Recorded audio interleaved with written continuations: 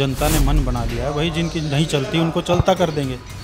ठीक है अपना मनीष जी को जिताएँगे। भारतीय जनता पार्टी की सरकार पूरे हरियाणा के अंदर दोबारा से आएगी तीसरी बार आएगी। इक्कीस सौ रुपये महिला को मिलेंगे चाहे बच्ची हो चाहे बूढ़ी हो चाहे जवान हो। हुड्डा जी ने तो कुल टोटल अपने ही घर में भरे हैं सारा कुछ। महिला का मतलब बहुत अच्छा ध्यान दे रहे हैं मोदी जी भी नायब सैनी जी भी और हमारे मनीष जी भी।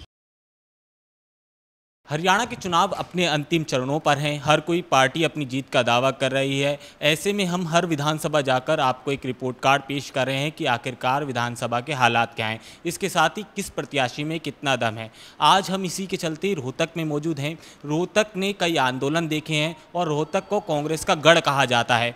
इसके साथ ही कांग्रेस की कमर तोड़ने के लिए बीजेपी ने भी एक मास्टर प्लान तैयार किया है और इस बार बीजेपी भी फुल फॉर्म में नज़र आ रही है। अब देखना ये होगा कि पाँच तारीख को बटन किस तरफ़ जनता दबाती है। मगर हाँ बीजेपी के कई सारे दावे हैं इसी जानने के लिए। हम बीजेपी के कुछ कार्यकर्ताओं के बीच हैं।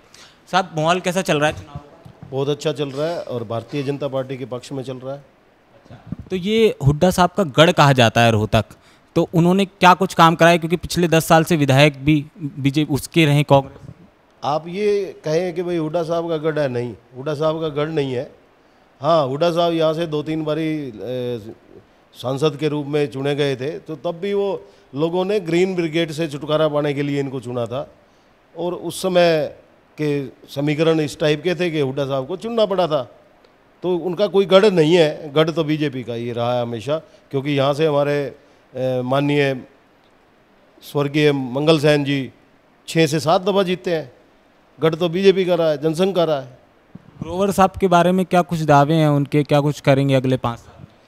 ग्रोवर साहब के दावे ये तो हरियाणा सरकार के साथ मतलब कि हरियाणा सरकार का एक नारा था हरियाणा एक हरियाणवी एक।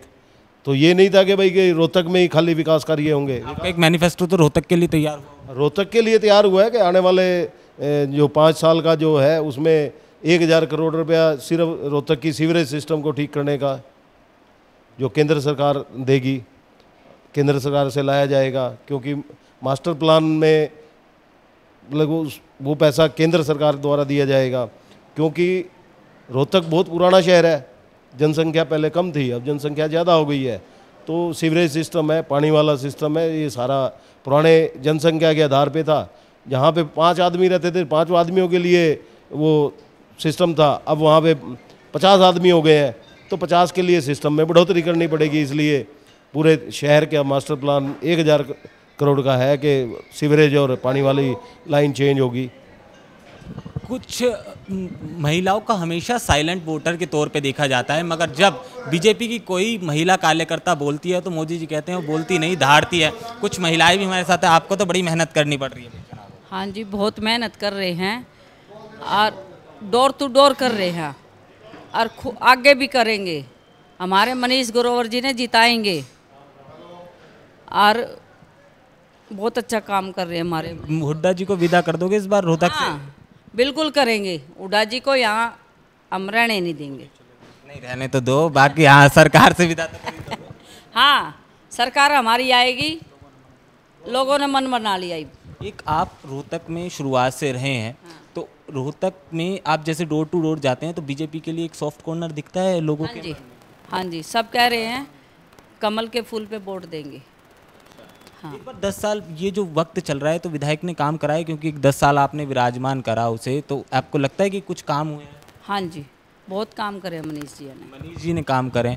तो अब जिस तरह से रोहतक का समीकरण लग रहा है और हुड्डाओं का गढ़ कहा जाता है तो उस टाइम बताते थे पर्ची खर्ची से नौकरियाँ वोकरियाँ लगती थी तो इन इन बातों में सच्चाई है भाई देखो जी ऐसा है हुड्डा जी ने तो कुल टोटल अपने ही घर में भरे हैं सारा कुछ। यहाँ मनीष जी इधर हैं ये ना तो कोई जात पात देखते छत्तीस बिरादरी के लिए काम करते हैं दिन रात काम करते हैं ना इन्हें जीत की खुशी रहती ना इन्हें हार का गम रहता है इन्हें सिर्फ़ अपने काम से मतलब रहता है। अब पिछले पाँच साल में ये नहीं रहे विधायक। तो इन्होंने ये नहीं सोचा कि मैं विधायक नहीं हूँ। इन्होंने उसी रफ्तार से काम करवाए। भाई कोई भी बच्चा भी इनके घर चला गया ये काम है तो उन, उन्होंने वो करके दिया आधी रात को भी। ये नहीं कहा कि नहीं हो सकता। इधर ये बीबी बत्रा जी हैं अपने पाँच साल विधायक रहे हैं। हाँ जो ये पिछले पिछले पाँच साल की कह रहा हूँ मैं, इसमें जो विधायक रहे हैं ये, इन, इन्होंने एक भी आदमी का ढंग से काम नहीं करा। और हर बार ये कह देते हैं, भाई, मेरी तो चलती नहीं है। मैं कहाँ से क्या करूँ? तो यार, चलती नहीं है तेरी तो तू मत रहना, छोड़ पद। तो अब जनता ने मन बना लिया है, भाई, जिनकी नहीं चलती, उनको चलता कर देंगे। ठीक है, अपना मनीष जी को जिताएँगे। टेक्निकल चीज़ आप एक समझा दो मुझे, एज ए हरियाणवी पहले जब चुनाव होते थे तो क्षेत्रीय पार्टियों का बड़ा बोलबाला रहता था। आज हालात ये हैं कि वो क्षेत्रीय पार्टी हरियाणा से पूरी तरह खत्म हो चुकी हैं और टक्कर सिर्फ़ बीजेपी और कांग्रेस की है। तो ये क्या कुछ मतलब हरियाणा के दिमाग में क्या कुछ चल रहा है? देखो जी, क्षेत्रीय पार्टियों ने हमेशा लोगों को यूज़ करके और राज प्राप्त किया। चाहे राष्ट्रीय मतलब कि जैसे इनेलो थी या जेजेपी है। पीछे जेजेपी का देख लो क्या हाल है आज। चाहे वो साढ़े चार साल भारतीय जनता पार्टी के साथ मिल के चले, लेकिन उनके हालात ऐसे हुए पड़े हैं। तो इसीलिए लोगों का ना विश्वास राष्ट्रीय पार्टियों पर ज़्यादा है, क्योंकि राष्ट्रीय पार्टी हमेशा कोई भी कार्य करती है तो विकास कार्य केंद्र से भी उनको सपोर्ट मिलती है। राज्य सरकार में तो होते ही हैं वो लोग। तो मेन क्या है कि यहाँ के हरियाणा के लोगों को आज ये लग रहा है कि भाई केंद्र के अंदर मोदी की सरकार है तो उसी तरीके हरियाणा में भी बीजेपी की सरकार आए और केंद्र से जो ग्रांट मिलती हैं जो पैसा मिलता है डबल इंजन वाली सरकार। हम्म हाँ डबल इंजन वाली सरकार। तो केंद्र से खूब विकास के लिए हरियाणा के विकास के लिए पैसा मिलेगा। हाँ आज जीएसटी के मामले में ले देश में दूसरे नंबर पे हरियाणा है जीएसटी कलेक्शन में। तो इसी तरीके से हरियाणा भी मांग करता है कि भाई हमारे को विकास कार्यों के लिए भी पैसा चाहिए। तो केंद्र में भाजपा की सरकार है, मोदी जी की सरकार है तो हम भी और ऐसा रहा है हमेशा कि ऊपर किसकी सरकार रही हो तो नीचे उन्हीं की सरकार आती है। मेरे को पूरा भरोसा है कि भारतीय जनता पार्टी की सरकार पूरे हरियाणा के अंदर दोबारा से आएगी, तीसरी बारी आएगी। एक छोटी सी चीज़ और समझा दो मोदी सरकार में कहा गया महिलाएँ बड़ी सुरक्षित हैं और सुरक्षित महसूस करती हैं।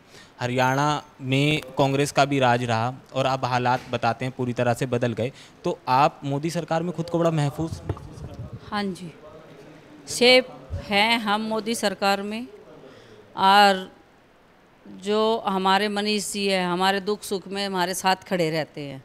और बीबी बत्रा ये कहते हैं, भाई हमारी सरकार आ जान दो, तब देखेंगे। ये हमारा क्या देखेंगे बताओ? इनका तो सुपड़ा साफ़ होने वाला है। सुपड़ा साफ़ तो आपने चार बार करा दिया बोल बोल के मगर आगे भी करेंगे। तो मतलब हरियाणा में अगर सरकार तीसरी बार बनती है तो आपको लगता है कि महिलाओं के लिए भी बड़ी सुविधाएँ महसूस हाँ? हमारे जो नायब सैनी जी हैं वो क्या आप सैनी या खट्टर? नायब सैनी जी। वो कह रहे हैं इक्कीस सौ रुपये महिला को मिलेंगे, चाहे बच्ची हो, चाहे बूढ़ी हो, चाहे जवान हो, सबको पेंशन के उससे। महिला का मतलब बहुत अच्छा ध्यान दे रहे हैं, मोदी जी भी, नायब सैनी जी भी, और हमारे मनीष जी भी।